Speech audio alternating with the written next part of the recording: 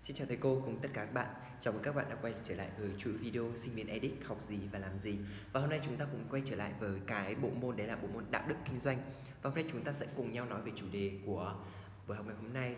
Đấy là chúng ta sẽ nói về cái chủ đề về các cái chủ đề về cái vấn đề uh, doanh nghiệp kinh doanh có trách nhiệm thì ở trong cái phần này chúng ta cũng được ừ, khái quát là bạn Lanh và bạn Phương đã trình bày cho chúng ta về các cái ờ, chủ đề chính rồi đúng không ạ? Gồm có khái quát về hành vi kinh doanh có trách nhiệm sự tiến hóa sang nền kinh tế thị trường và sự chuyển tiếp sang nền kinh tế thị trường và các cá nhân doanh nghiệp trong nền kinh tế thị trường mới nổi. Thì um, ở trong cái phần này thì chúng ta sẽ đi về từng phần một chút xíu. Đây là khái quát về hành vi kinh doanh có trách nhiệm. Thì nhà kinh tế học nổi tiếng Benjamin Friedman người đã viết vào năm 1970 đã có trách nhiệm xã hội của kinh doanh nghiệp là tăng lợi nhuận. Tức là kinh doanh có trách nhiệm là chúng ta thường là chúng ta sẽ có cái vấn đề đây là chúng ta sẽ uh, tăng cái lợi nhuận cho doanh nghiệp. Nhưng mà ở đây chúng ta còn phải chú trọng đến con người hành tinh hành tinh và lợi nhuận. Khi đó thì trách nhiệm của doanh nghiệp trách nhiệm của nhà kinh doanh phải đẩy lên cao hơn. Vì ở trong đấy chúng ta còn phải chú trọng đến lợi nhuận à, là cái à, cái lợi nhuận này hay là cái à, trách nhiệm của doanh nghiệp đó đến với à, hành tinh này đến với con người và đến lấy lợi nhuận của chính doanh nghiệp đó. À, tiếp theo là tự sự tiến hóa của nền kinh tế thị trường. Có nghĩa là từ nền kinh tế chỉ huy bước sang uh, chuyển sang nền kinh tế thị trường thì gọi là chuyển tiếp hay là gọi là tiến hóa.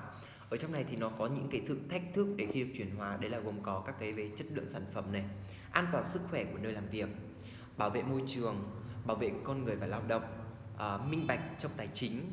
Trách động được nghe rõ về các phần này rồi đúng không? Thì mình sẽ không nói kỹ về cái phần này nữa. Tiếp theo là có một cái câu nói ở trong cái buổi học hôm nay mà các bạn này có đề cập đến đấy là vấn đề về thị trường toàn cầu.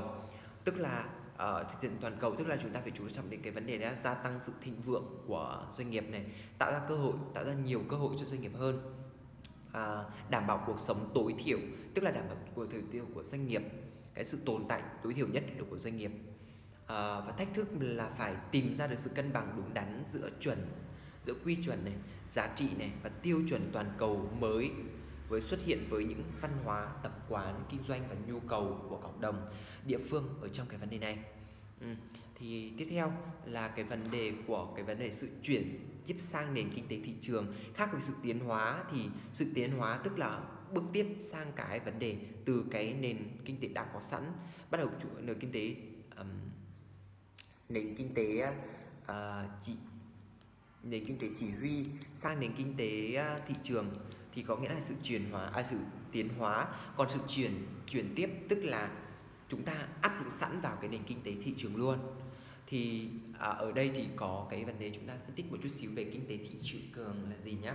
Kinh tế thị trường hay là gọi gọi là cái vấn đề về nó có nghĩa là cái sự kinh doanh quá trình hoạt động kinh doanh của doanh nghiệp nhằm uh, có cái sự hoạt động của trao đổi của người mua và người bán. Tạo nên một cái số lượng đấy là tạo ra một cái giá trị cung cầu về giá cả và số lượng hàng hóa.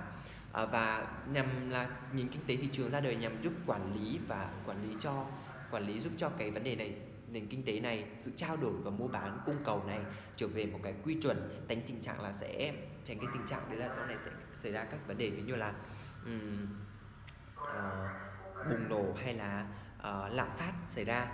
Um, thì đấy là cái nền kinh tế thị trường à, ưu nhược điểm của nền kinh tế thị trường đấy là ưu điểm đấy của nền kinh tế thị trường là nó giúp cái vấn đề là cải tiến quá trình này giao lưu kinh tế và tạo ra việc làm nhiều hơn cho công nhân và cũng như là cho doanh nghiệp. À, nhược điểm của nền kinh tế thị trường đó là bất bình đẳng. Bất bình đẳng uh, của nhau. Rồi đến thế là độc quyền. Khi mà nền kinh tế thị trường phát phát triển thì nhiều công ty nó có thể xây dựng đến là cái vấn độc quyền về sản phẩm. Nhưng mà nó sẽ xảy ra một vấn đề đó là khủng hoảng khủng hoảng thừa. Khi mà chúng ta sản xuất ồ ạt nhưng mà cái nhu cầu nó không được kiểm soát thì nó dẫn đến một cái vấn đề là khủng hoảng thừa về nhân nguyên liệu. À, thứ hai đấy là những tồn động của hệ thống kế hoạch tập trung. Tức là khái niệm của cái hệ thống kế hoạch tập trung này nó có nghĩa là về chính phủ và chính phủ sẽ là người quản lý cái vấn đề này. À, tồn động những tồn động của những tồn động của hệ thống kinh tế kế hoạch tập trung thì nó sẽ ảnh hưởng đến uh, loại bỏ được cái vấn đề cạnh tranh này. À, thiếu um, thiếu tính kết nối giữa chúng uh, với tất cả mọi người và tồn tại các cái hoạt động phi pháp. Um. tiếp theo là cái về cái phần cuối cùng là cá nhân doanh nghiệp trong nền kinh tế thị trường mới nổi thì nó sẽ giúp cải thiện được kết quả của kinh doanh giúp xây dựng được vốn xã hội và phối hợp với các nhà lãnh đạo doanh nghiệp chính phủ và xã hội thì đấy là cái buổi họp ngày hôm nay chúng ta về cái vấn đề uh, trách nhiệm của doanh nghiệp trong cái vấn đề nền kinh tế thị trường. Uh, thì rất cảm ơn các bạn đã chú ý lắng nghe cái video này và cảm ơn các bạn. Mong các bạn sẽ bổ sung nhiều hơn cho bản thân mình nhé. Xin chân thành cảm ơn.